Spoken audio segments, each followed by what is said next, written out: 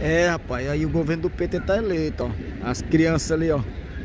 Trabalhando, ele chega em cada carro, cola um adesivo do Rafael Fonteles, ó lá, ó. Arrancando. Vai colar no outro. Aqui você quer na Ceasa, ó.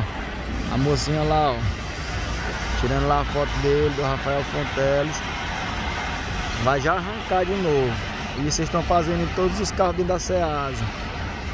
Tira a foto. Vai arrancar o adesivo, ó. Ó, ali a moça, ó. Já arrancou dali, ó. Lá se vão eles lá para outros carros. Aí eles colam, colam em todo o carro e tiram a foto e arranca para dizer que tem muito carro adesivado do Rafael.